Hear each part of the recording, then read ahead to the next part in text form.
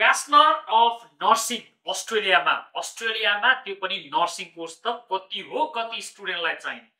त्यो पनि two thousand twenty फोरकै इन्टेक नोभेम्बर इन्टेक अप्लाई गर्ने होइन।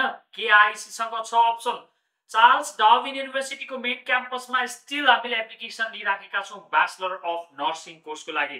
त्यो पनि कहाँ? ट्वेन्टी पर्सेन्ट स्कलरसिप सहित। नर्सिङमा नोभेम्बर इन्टेक त्यो पनि विथ ट्वेन्टी पर्सेन्ट स्कलरसिप यो पाउनु भनेको त धेरै गाह्रो कुरा हो।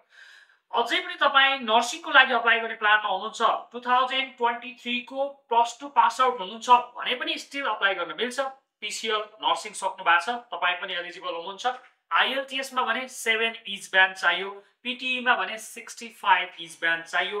कमन इन्ट्रान्स एक्जाम दिएको भए सबैभन्दा राम्रो किनभने एनओसी तपाईँलाई कमन इन्ट्रान्स एक्जाम नभइकन हुँदैन।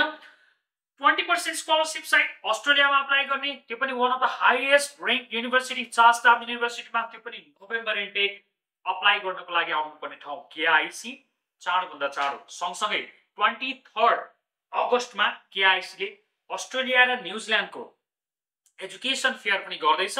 सो तपाईँ अस्ट्रेलिया न्युजिल्यान्ड सम्बन्धित विभिन्न जानकारी लिन चाहनुहुन्छ भने ट्वेन्टी थर्ड अगस्तमा यानि कि यो फ्राइडे तपाईँ एघार बजेदेखि बेलुका पाँच बजेसम्म केआइसीको हेड अफिस लालुपाते मार्ग पुतल सडकमा आउन सक्नुहुन्छ। सो आउने होइन त KIC. KIC KIC Canada Australia हुन्छ बेलायत नि केआइसी केआइसी। विदेश जाने पुरा हुन्छ सपना बच्चेदेखिको